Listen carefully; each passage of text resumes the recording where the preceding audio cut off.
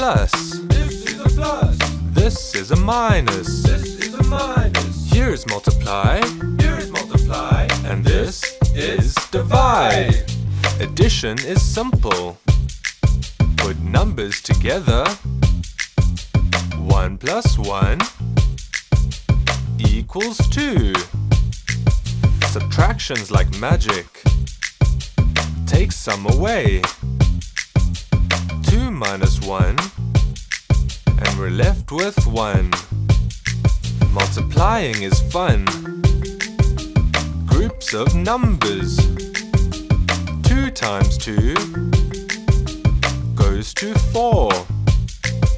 Division's like sharing, splitting up a number.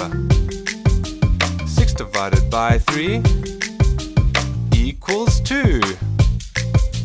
This is a plus. This is a minus. Here's multiply and here's divide. This is a plus. This is a minus. Here's multiply and here's divide.